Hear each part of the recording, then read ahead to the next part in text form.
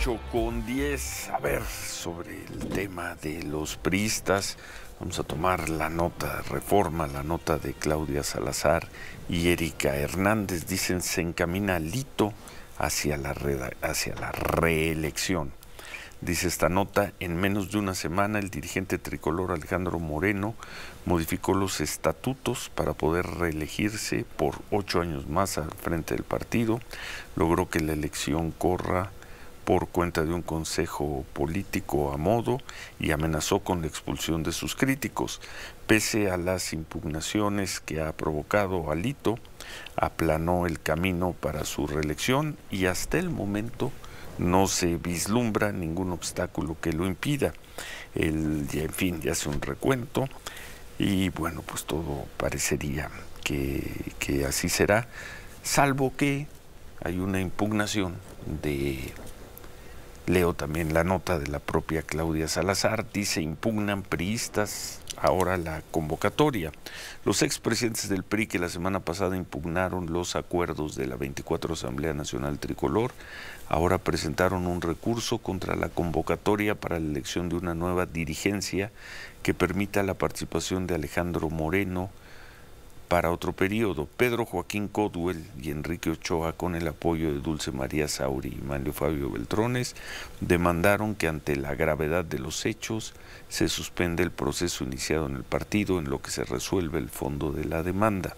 El viernes, la Comisión Nacional de Procesos Internos del PRI emitió una convocatoria que tomó como base pa, tales reformas estatutarias. En la convocatoria se señala que el actual presidente, Alito, y la secretaria general, Carolina Viquiano podrán participar en el proceso y su periodo de 2019-2023 será considerado como el primero de tres posibles. Muy bueno, no es sorpresa, ¿no? Alejandro Moreno así se hizo del control del partido, eh, tiene el Consejo, gana las elecciones con el noventa y tantos por ciento de los votos, así la ha venido haciendo y por lo visto así lo hará y además sin ningún empacho. No solo Alejandro Moreno, Alejandro Moreno y los suyos, su, su grupo. Si no los detiene el Tribunal Electoral, pues Alejandro Moreno y los suyos estarán al frente del PRI. Ah, nosotros decimos a perpetuidad, porque ocho años a partir de este momento es perpetuidad. sí, claro. Es hasta el 2032, imagínate, 2032. Y quien gane las elecciones del 2030 se estaría acercando a la mitad de su gobierno. O sea, pasaría todo el de Claudia Sheinbaum y cuántos de quienes hoy están protestando contra eso ya no estarán vivos por, por edad. Por ejemplo. Pero bueno, pues ahí está también el, el resultado de los desencuentros de los, de los priistas. Eh, muchos de ellos se fueron antes de la elección se fueron algunos al Partido Verde, algunos a ningún, a ningún lugar. Otros dicen que siguieron en el PRI, aunque tú recuerdas haber visto a Pedro Joaquín Codwell haciendo algo en las campañas. No. No, ni tampoco al propio Enrique Ochoa, Francisco La Bastida. También aquí sería decir, bueno, ¿y desde dónde protestan ustedes?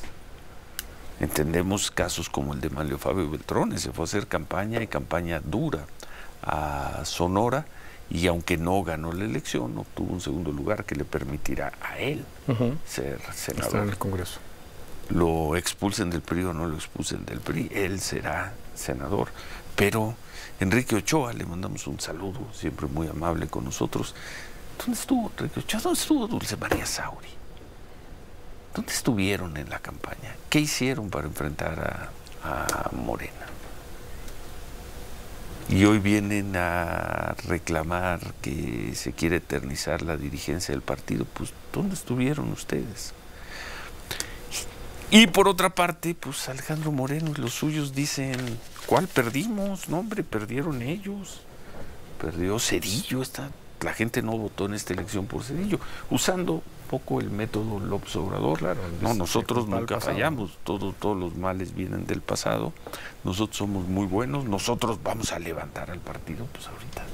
Así como decían, imposible que haya una mayoría calificada de Morena, vamos a estar muy cerca de tener la mayoría absoluta y vamos a dar la pelea, vamos a ganar la Ciudad de México, vamos a ganar Veracruz, ¿cuál otro decían que vamos a ganar Yucatán, vamos a, vamos a ganar Morelos, vamos a dar la batalla en Puebla.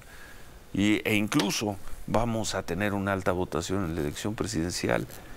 Tache, tache, tache, tache, tache, tache. Desastre la elección del 2 de junio. Y ante el desastre, ya lo dijimos, en vez de que haya un gesto de decoro, de decir, perdimos, sí, nos vamos a hacer un lado, que vengan otros.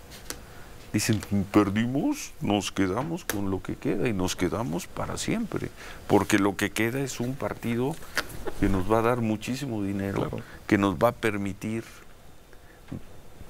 controlar manejar algunas posiciones en Cámara de Diputados. Nos van a decir que van a tener setenta y tantos diputados y quién sabe cuántos senadores. Son un partido irrelevante, salvo que se alíen con Morena. Que va a ser bien interesante ver a este partido que durante tres años ya esta dirigencia dijo que Morena era una tragedia para México. Verlos ahora trabajando con Morena. Salvo que digan que con el triunfo de la doctora Sheinbaum, las cosas serán diferentes y entonces basta de confrontación. Y entonces el PRI se irá haciendo diminuto, se irá haciendo chiquito, será un nuevo PT, será un nuevo Partido Verde, pero ¿Tú le ves a Alberto Anaya del PT algún problema con su a veces 3%, a veces 7%? feliz de la vida. A la dirigencia eterna del Partido Verde, ¿les ves algún problema con ser el partido a veces del 5%, a veces del 9%, ahora creo que del 10%. ¿Tú le ves algún problema a Dante Delgado? También manejan sus partidos como si fueran propiedad de ellos y ay, por favor no nos digan que quieren réplica para decirnos que no es así, que son democráticos, que tuvieron la convención del 2021 y la asamblea del 2022, que manejan los partidos como negocios de ellos. Pues, Cuando digo negocios no estoy diciendo que roben, negocios, lo manejan como si fuera un negocio. Pues? Reparten las posiciones, reparten los, los recursos, para allá va el PRI. Y ante eso, pues algunos priistas, algunos muy decorosos, que salen ahora con Alito, dicen ante eso y la orfandad, ante eso y la nada, pues mejor hacernos chiquitos, convertirnos en un partidito, pero mira qué feliz es el Beto Anaya en el PT, qué felices son los verdes con su partidito, qué feliz es Dante Delgado con su partidito, y pues qué feliz va a ser Alito y nosotros con nuestro partidito. Y se lo, se lo apoderan y no hay problema ya tenemos, tenemos tres experiencias ahí a la vista. El PT, el Partido Verde y Movimiento Ciudadano. Lo único que tienen que hacer cada tres años es garantizar tener más del 3% de los votos. Y con eso... Oh, con eso caminan, sí. Camina el negocio. Y los que no quieren estar con nosotros, que se vayan al... Los expulsamos, les iniciamos un proceso. Irse a donde quieran, ¿Y qué va, qué va a decir el Tribunal Electoral? Pues lo veremos. Y como siempre les ha dicho Alejandro Moreno, ¿cuánto valen? ¿Cuántos traes atrás? Sí, pero también cuánto vale Alejandro Moreno. el pues presidente derrotado de un partido derrotado. Hoy no vale, eh, para términos de competencia, no vale y por favor, que no nos digan que quieran entrar para decir que obtuvieron el 11% y tanto, tanto, tanto, pero para términos de posesión de partido, pues los necesarios, ¿no? Pues sí, para mantener 11% se pueden ir perdiendo en la próxima elección si pierden la mitad de los votos, van a tener 5.5%, sigue el negocio. Y si es necesario en el 2030 aliarse con el demonio, se aliarán con el demonio para mantener el negocio. Ya. Y que hagan corajes Enrique Ochoa y Pedro Joaquín Cotuel.